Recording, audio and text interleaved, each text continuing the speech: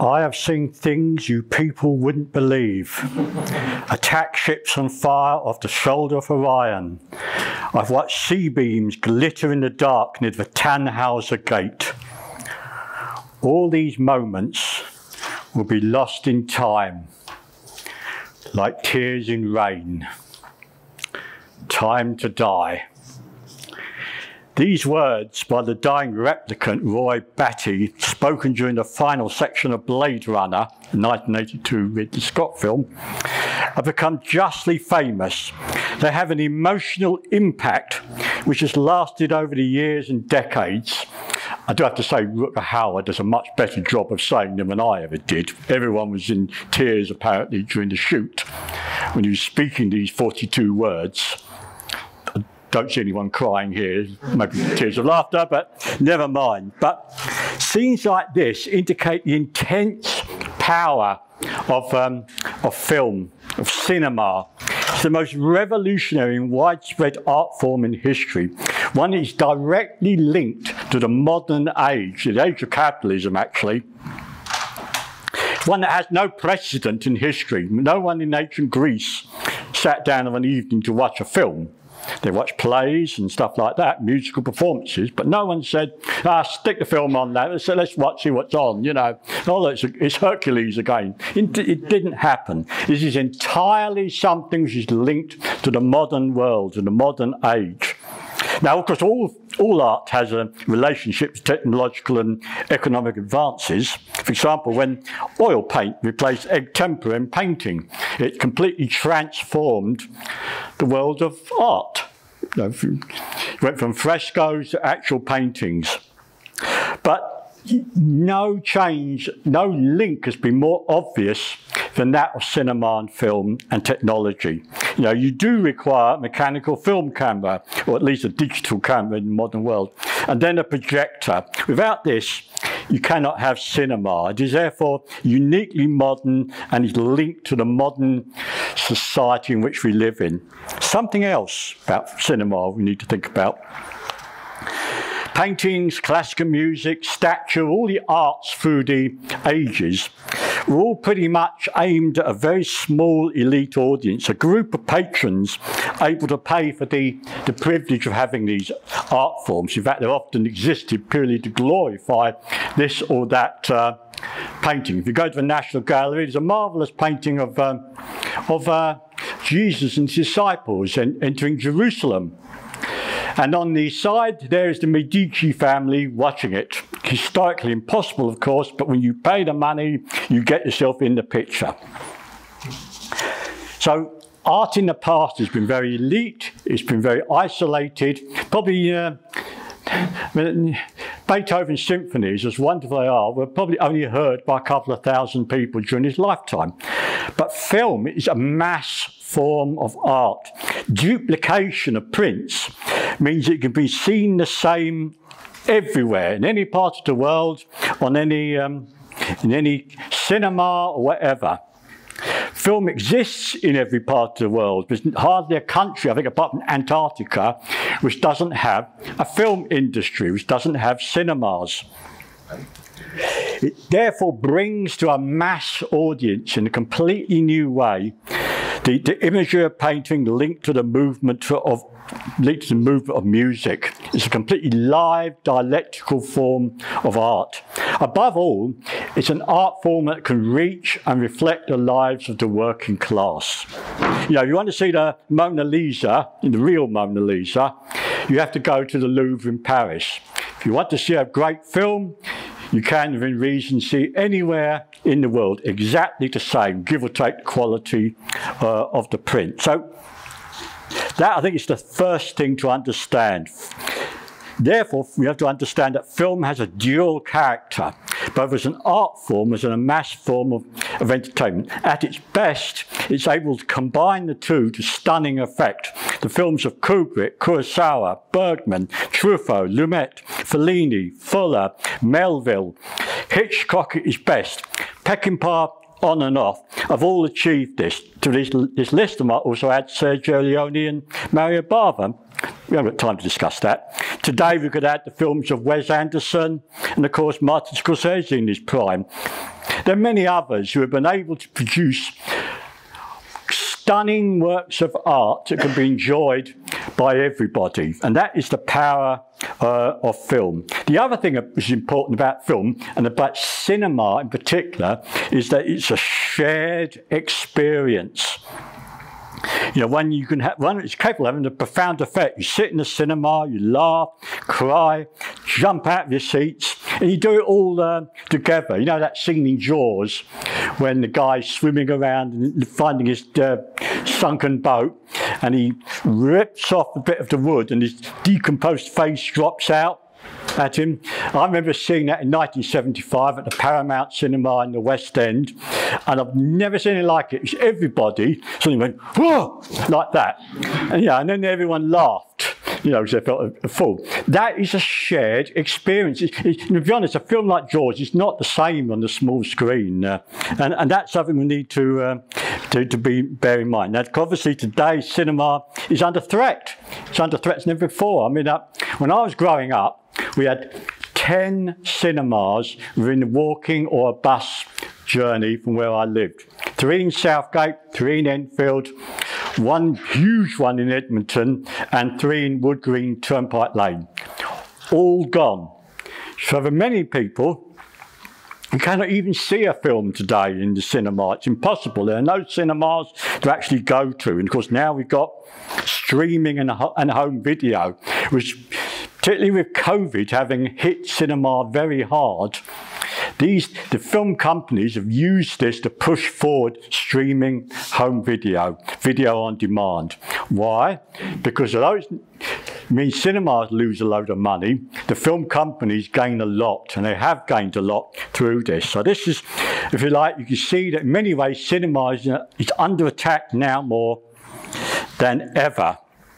The cash returns from streaming have simply made this a logic. They're fighting back, but it's not going to happen. But let's think about it. To really experience film, you need to see it in a cinema. That's where you really see the power. Think about it. The famous jump cut at, uh, early on in Lawrence Arabia, from inside the smoky map room to the blazing red of the uh, desert stunning sequence, you know, which uh, can only be really enjoyed on a huge 70 millimeter uh, screening uh, film. The last half hour of 2001 A Space Odyssey on Cinerama, which I was lucky enough to see in 1968, you know, an experience I've never forgotten. And I've seen that film in the cinema about 25 times over the last uh, 30, 40, 50 years now, I suppose. Um, the deathly silence of the audience at the end of One Flew Over the Cuckoo's Nest. I don't know if anyone's seen that film. It really has a powerful emotional ending, but what really hit, I was in a big cinema, full, Saturday night. Everyone got up and no one was talking. No one was saying a word. You could feel the emotion.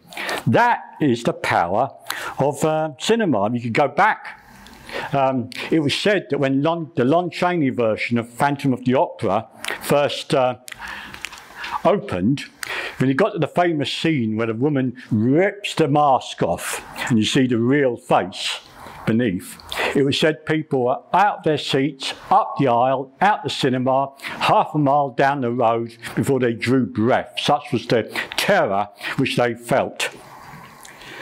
You can't match this on a small screen. You can't begin to match it on a small screen. So cinema is important. It's an important social experience. And for that reason, we as Marxists uh, should be interested in it. I mean, Marx, example, has always had an interest in art, as in all things human. But cinema's role as a mass art form, woven deep into society, particularly working class society, makes it of particular importance for Marxists. That is why we're having this discussion. Right, let's consider a couple of hurdles you're going to have to jump over here. The first, let's face it, the left are incredibly snooty when it comes to cinema. They really are. They often tend to follow the academic line, avoid talking about uh, mass entertainment. Um, they simply often look at, just at the uh, that layer of art film which exists uh, at the top. Not helped by the fact, of course, there's very little on classic texts to draw on unlike, say, for example, economics or uh, historical materialism or something like that. You know, Marx and Engels didn't have a cinema to go to. Uh, Lenin and Trotsky did live through the early age of uh, cinema, but they frankly had more important things to worry about. Uh, Lenin did know about the film trains that were traveling around Russia, telling people about the Bolshevik Revolution and how society was changing, but again, you know, he, he couldn't spend that much time thinking about it for obvious reasons. Trotsky wrote a hell of a lot about uh, art and literature. You can buy a book downstairs, uh, I hope, on that. But for obvious reasons, he, he also couldn't think much about film. You know, he's running for his life for the last two decades of his, of his existence. So we pretty much have to make our own way uh, on this. The other problem we have to face is the, is the dominance of academic twaddle in film criticism. I'm being, I'm being quite kind here, even left film criticism, to be honest. Postmodernism lurks in film criticism, a bit like the uh, the uh, alien lurks in John Hurt's uh, stomach in, in, in, in, Alien.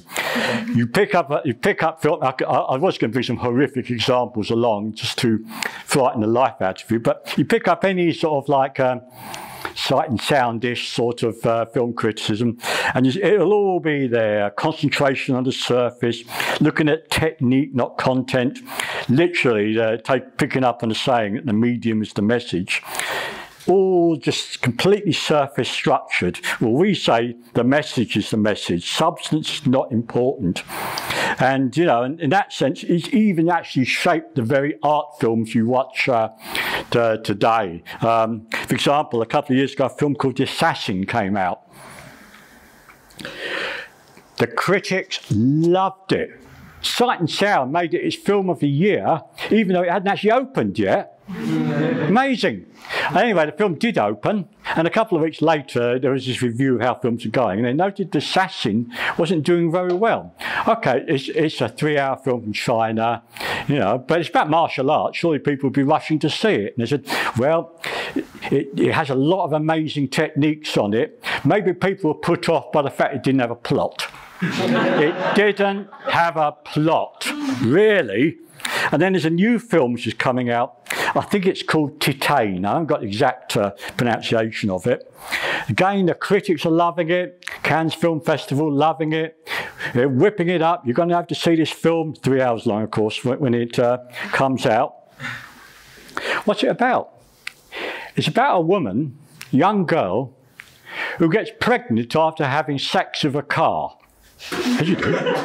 And then for the next hour, when she's not mechanically rearranging her face, becomes a serial killer. Really? this is this is um, this is what passes for uh, artistic film. Somebody's rogered by Renault and heads off to become a serial killer for three hours, and they think this somehow has something to say to us. And don't get me started on Bait. I don't know if anyone's ever seen that film. Suffice to say, me and my brother went to the BFI to see something else, and they had a trailer for Bait. And he was convinced it was a comedy and started laughing. So, uh, and everyone was looking at him, and I said, no, actually, I think this is a serious British film, you know, about people who become profoundly disturbed by fish, you know, and stuff like that. This is the way that art film have, has gone. If like it's, it's adopted to the, the philosophy of postmodernism and all its uh, linked ideas to shape a whole art form. When you consider the great films of Truffaut, Fellini, Antonioni, and so on, you know, which have shown how film can directly reflect life and, and say something with great skill, then it really makes you uh, weep. The final hurdle you have to think about and I'm wary of time here, is that film history itself is becoming lost. Not just in a physical sense, and a huge number of films have been lost, not just from the silent era, but even from the 30s and, and 40s. Apparently, so like 15 films of Powell and Pressburger cannot be found anymore. You know, and, and even 60s and 70s films have just uh, disappeared. So the general understanding of film history is fading away. to a certain extent, at least amongst people who are prepared uh, to study it. So that these are all problems and things you have to be aware of when you're approaching film from a Marxist perspective. So what do we have to say about film and what does film have to say about us? Just in passing, I'm, I'm going to jump over this actually, because um, we're almost uh, halfway through, more than halfway through. Um, we don't. I have big issues with the auteur theory. Um, I think it's completely wrong, this idea that film is controlled and shaped by one powerful individual with a single vision who does everything, apparently. Film is a collaborative experience, enormous uniquely amongst uh, art that involves not just uh, directors, but producers, cameramen, editors, clothing, actors, of course, you know, and so on and so on and so on. You sit through the credits at the end of a film, there are hundreds, perhaps thousands of people working uh, on a film. So this idea that it's, it's elitist, actually, that one person can, is, is, responsible for everything is uh, completely wrong. That doesn't mean, by the way, I won't be referring to directors. Um, when I link to film, just for convenience sake, but just bear that in, uh, in mind. So Look, dealing with the vastness of the subject, in fact, I'm almost halfway through the time allotted anyway. I, am. I, I cannot deal with all the isms, waves, trends, genres, high points, low points, etc., which existed in film history. I cannot deal with the rich reservoir of counterculture underground film, one exception, which I'll come on to later. I certainly I cannot even deal with the Soviet cinema or, uh, or even that the important strand of left films that somehow got through the establishment net. So what can I deal with? Very little. I just want to throw up a few issues for you like to think about, in, perhaps in the discussion. Art form versus commodity. Now, Marx was interested in art because it exposed the special characteristic of commodity production under capitalism, the requirement to envisage an item before it became real. Marx talked a lot about the special role of an architect, for example. He wanted us to understand that we were more than just machines. We create, abstract, visualize. Animals just uh, do things for immediate need. We go beyond that. That's what differentiates us. But this creativity, this desire to create, actually, which exists in all of us, comes up against the requirements of a class society and the need for capitalism to produce commodities for product. To realise the surplus value creates the sweat of one class for the benefit of a rich few.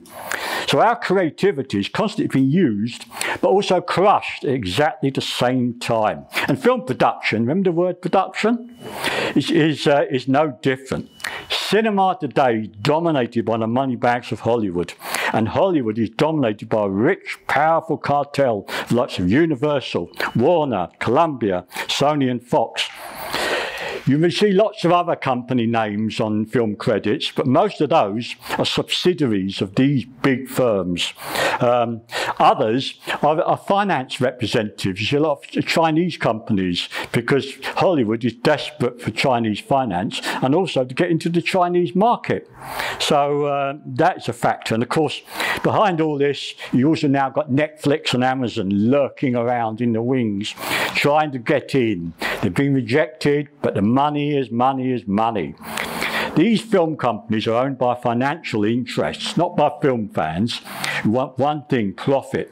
So production, the film production today is increasingly being shaped from need for guaranteed return on investment. So you've got, you get endless remakes, sequels, and films that look like a hundred others. You've already watched this film, I'm sure you have. Um, for example, action films. They all have the same character in. Have you noticed? There'll be a bloke in his 30s, maybe separated from his wife, but he's got a little daughter who he loves, something like that. He might have a beard, unless he's Matt Damon, which he hasn't. But here's a loner who plays by his own rules. And how many times have we seen these characters? He'll set you straight, don't you worry. Of course, you'll come up against all manner of villainous Chinese and Russians or North Koreans or Arabs. And now, of course, you have to add Venezuelans to the list who, who, who will befuddle the rest of the system, but not our, not our uh, hero, who, by the way, would to survive an extraordinary beating over the hour and a half or two hours of the film. He'd be blown up, thrown through windows, shot. But it doesn't matter, because at the end, uh, people weep, you're getting a last elastoplast, it'll all be fine. These films actually even look the same. Have you noticed that strange orangey blue effect you see in action films? It's called teal. They tint the films because they think this is the best best way for the films uh, to look. They use algorithms to calculate how films should be edited and what scenes should follow on from another.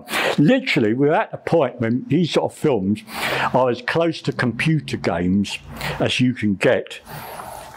Resident Evil, anyone? of course, the trick then is to produce the maximum product sell for the minimum cost. And, and Hollywood plays on the fact that people are desperate to get into the film, into film to exploit them every which way they can. Low pay, long hours, poor working conditions, and so on. And here I do want to say a word about the recent death of cinematographer Helena Hutchings, who I'm sure you know was, uh, was killed just over a week ago. A very promising young cinematographer whose life was cut short just as her career was taking off. Why? This death was completely avoidable. It's completely down to cost cutting, which these film companies, in order to gain maximum profit, set about uh, doing. The guns, we used real guns because real guns in Texas and wherever are, are much cheaper. They didn't check they were properly prepared. This is not the first accident this is the way this happened. The set itself was considered so dangerous that Union people had already walked off, uh, and yet nothing uh, was done. These are Victorian uh, style exploitation we're seeing here. We also shouldn't forget the Me Too movement, which came out. what a surprise? Women are exploited in Hollywood. They've been exploited for the last hundred years, the so-called casting couch, couch and so on, used by uh, people who, are, who see that people are desperate for a way out of their, their miserable lives by getting into cinema. And yet nothing has ever been done. The casting couch was no secret. And yet, enough Hollywood, who's blubbering away now about the Me Too movement, have done absolutely uh, nothing. Of course, this doesn't mean that Hollywood doesn't occasionally allow move, interesting and exciting films to get through. Let's be fair about it. Between 1968 and 74, as, as the youth movement got underway, there was a Hollywood started throwing money all manner of uh, mavericks and people like that. Arthur Penn, Mike Nichols, Robert Altman, Sam Peckinpah suddenly had all the funding they could they needed to make all the films uh, uh, they could make. Even John Cassavetes actually got some funding, you know, after years of having to constantly mortgage his house to make his uh, his very low budget uh, films. In Britain, people like John Boorman and Nick Roeg were able to find uh, a place, but the ultimate expression of this was the funding, Hollywood's desire to fund a follow-up to Last Tango in Paris by Bernardo Bertolucci. Here promised an historical epic, epic to be called Novecento or 1900. Fox, United Artists, Paramount all put loads of money in and enabled the film to have a huge cast. Burt Lancaster, Sterling Hayden, Donald Sutherland, Robert De Niro, Gerard Depardieu, Dominique Sanda, on and on and on. A massive budget because they thought Last in Paris made a mint. This one's bound to make a mint. They thought that up until the first six-hour print was screened in uh, in Italy. It's private showing. Paramount boss got a phone call. Hey, You've just, we've just funded a six-hour Marxist epic. what? As a result, this film has never been seen in its full form. The Americans got a three-hour version. I saw a, four-hour plus two-part version in London in 1978. Uh, the version of DVD today is the five-hour, 15-minute version. is about the longest you're ever going to see. By the end of the 1970s, all that spending was gone. These visionary filmmakers were either scrabbling around for work or had drifted into the mainstream to make normal, boring uh, films. Bertolucci never really made another decent film. John Cassavetes was back to making uh, cheap films and mortgaging his uh, house. Profits first, originality second. That is the nature of film production. Now, I did want to talk a little bit, but I'm going to have to cut over it, the question of film as propaganda.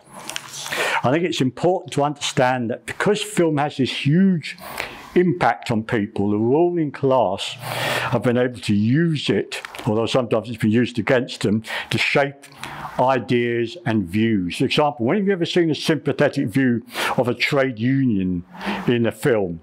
And in the 1940s and 50s, they produced films which were overt the uh, propagandistic films about the communist threat to all of us.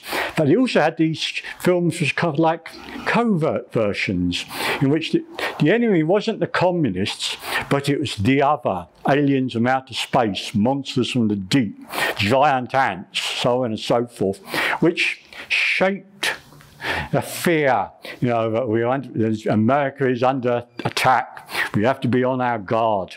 Um, there's a film called Invasion of the Body Snatchers, the original Don Siegel film, in my opinion, it can only be seen as a warning. He said, he said it's a warning against conformity, and later remakes did go along with that.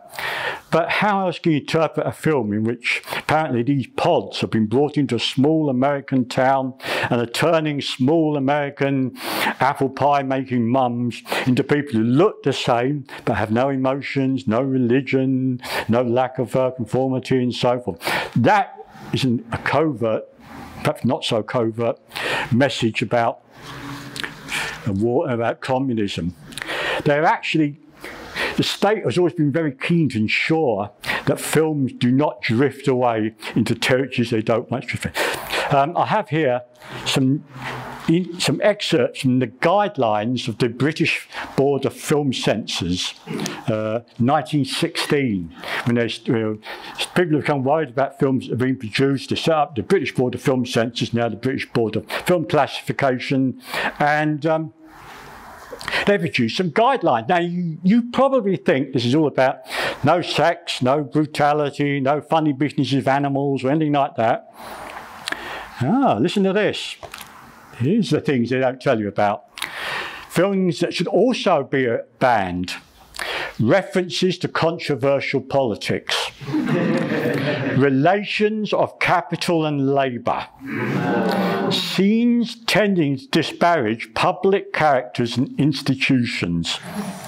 Realistic horrors of warfare. Oh, I don't want to see that. Instance, incidents having a tendency to disparage our allies scenes holding up the king's uniform to contempt or ridicule. And this is my favourite. Subjects dealing with India, attempting to suggest the disloyalty of British officers, native states, or bringing into disrepute British prestige in the empire. Does this require any further comment? Needless to say, one of the first films to be banned under this was Battleship Potemkin. The point is, in the absence of any alternative, the dominant ideas of any society the dominant ideas of the ruling class. Film can affect that. That is why film, unlike any other art form, has been, has been subject to huge uh, censorship and control because it can be used to shape what we think about. Some filmmakers are able to flip it, but uh, that unfortunately is still the exception. Now, in the last couple of minutes, I just want to say something else about films. I think it's important. We don't look at film just as the thing in itself film criticism does. You analyse the film, perhaps in relation to other films by the same director or whatever, or maybe other examples of the same genre. But as a rule, they, they look at film as if it's was produced completely in a separate universe to the one we live in. But we understand that film can reveal much about society. in the future, it's been said, people, when they want to know how we live today, they'll look at our films which will, I think will come as a bit of a shocker. Watch some of the films, you know, think, did we really do that? You know, uh, were we really fighting Russian invasion all the time? Something like that. But it doesn't matter. It doesn't matter. Obviously, there are exceptions.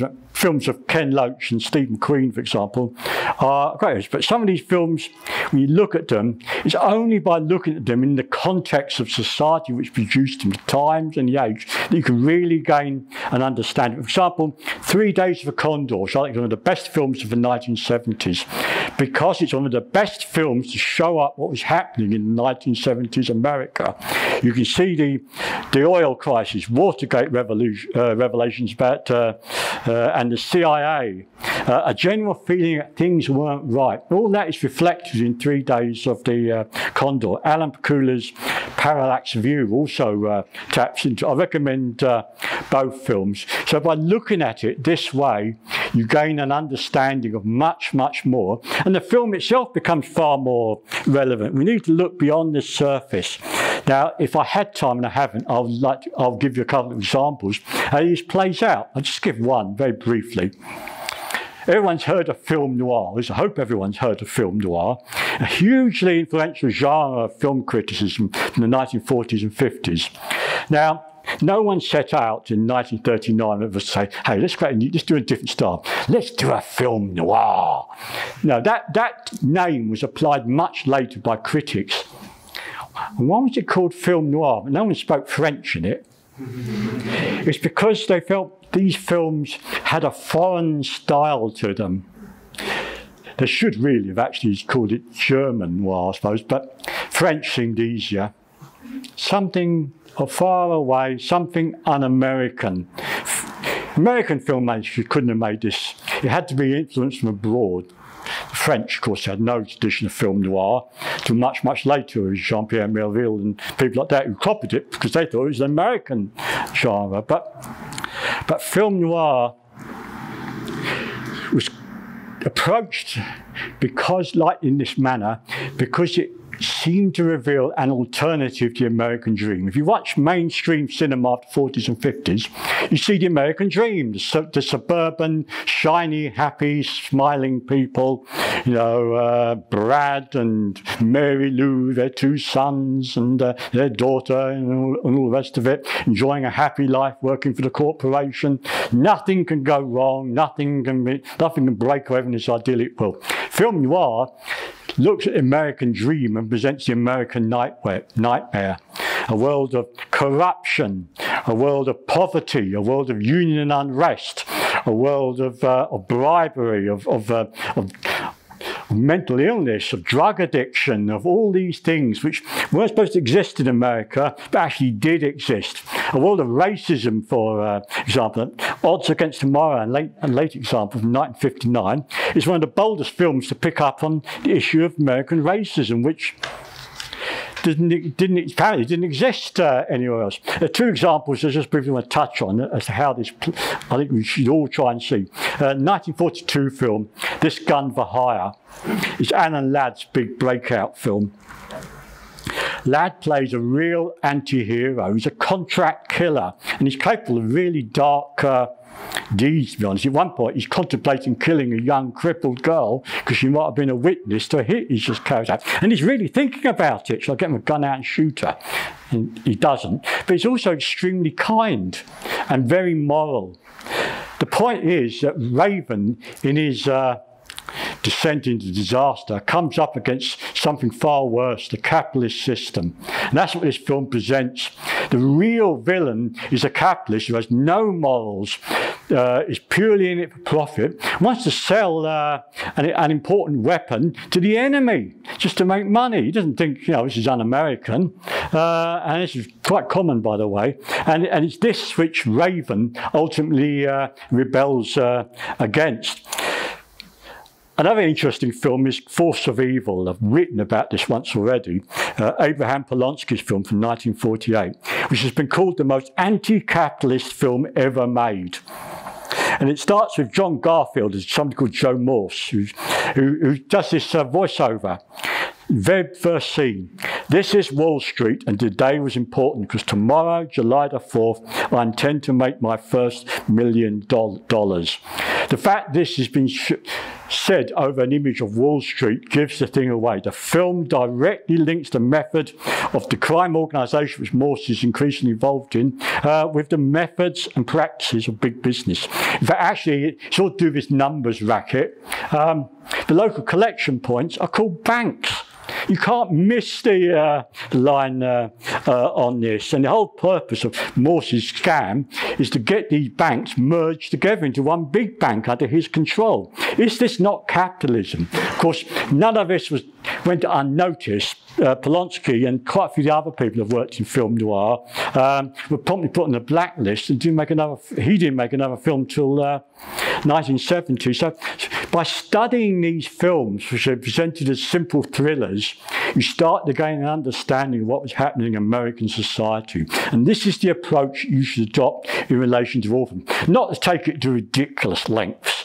You know, not to sit there watching The Evil Dead and trying to work out what it tells us about 90s, 90s Britain or something like that. But you can draw a lot about why these films, how these films function within society, and therefore gain an understanding of that. So to finish um, my remarks, Big business controls the world media, including cinema. Now, we could seek to undermine it, as many filmmakers have attempted to, but in reality, Hollywood holds purse strings.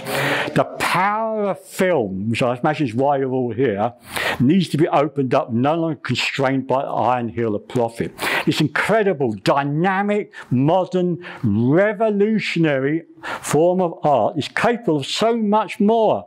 You know, the, the reach cinema, even now with home viewing and streaming becoming the norm, is still quite extraordinary and quite unique. Yet what are we stuck with? Fast and Furious 327, of a 900th remake of, of, of Halloween. The nationalisation of the means of production the worker control must include not only factories and banks, but also the bosses' media. Remember, it is the bosses' media, including film production. Making this huge creative resource available to all will present us with a new renaissance of, of, of the arts and show us actually what we are all capable of.